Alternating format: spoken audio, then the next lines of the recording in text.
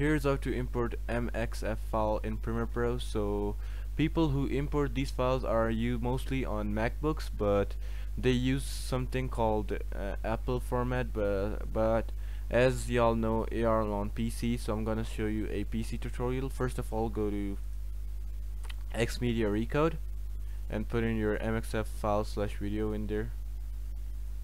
So I'm just gonna drag it in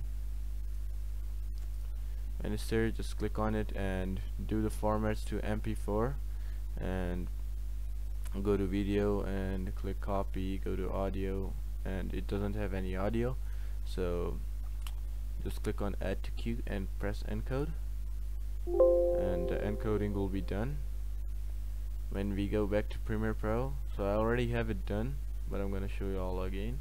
Just go to there and you'll see your sample take it over there and so yeah that's basically it on how you can import mxf file in Premiere Pro. So I hope I helped you guys out. Peace